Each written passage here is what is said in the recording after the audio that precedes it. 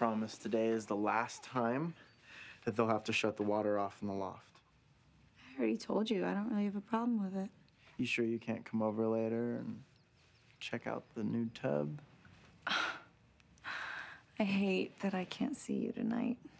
But they're honoring my dad at this dinner, so of course I have to be there. No, I understand. We will celebrate tomorrow. Yeah.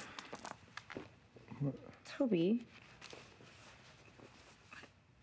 Ah. You know that I can fix this, right?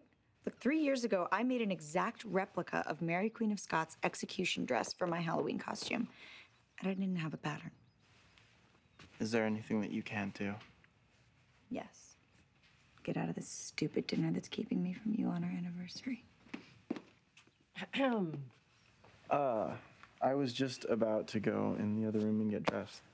I thought I'd help you decide on what to wear to the dinner that you're so obviously agog about. Are you sure that Dad'll be upset if I don't go? Well, he has to sit through it, so he wants his family to sit through it too. Misery loves company. I'll I'll find my way out. And Toby, you forgot your shirt. Bye.